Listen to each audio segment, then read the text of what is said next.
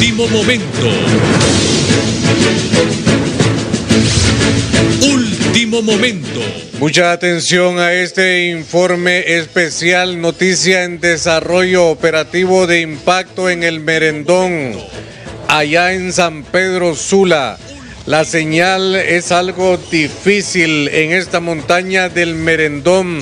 La llamada telefónica también es algo difícil. Esto en el Cerro del Merendón.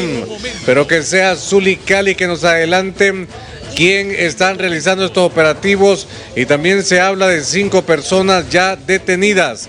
Vamos con usted, Zuli Calix.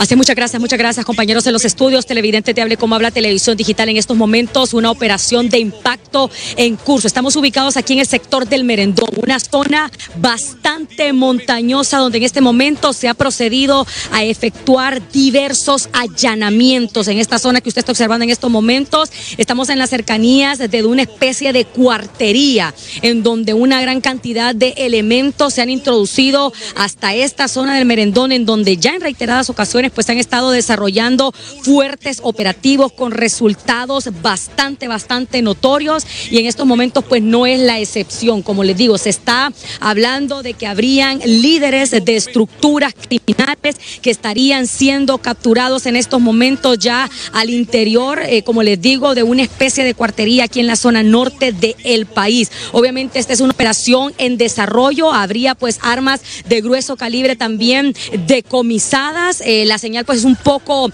eh, débil en este sector, pero de igual manera estamos junto al Toro Mengíbar enviando video de apoyo para que ustedes puedan darle seguimiento a esta fuerte operación que como les digo que se está desarrollando exactamente aquí en el sector del Merendón, muy cerca de donde se llama el sector de la San Isidro, así se le nombra a esta zona el sector de la San Isidro, así que pendientes porque habrían al menos unas cinco personas capturadas y como les digo, armas de grueso calibre, municiones también decomisadas, pendientes de más detalles a través de. Con las imágenes del Toro Mengíbar, nuevamente con ustedes al estudio.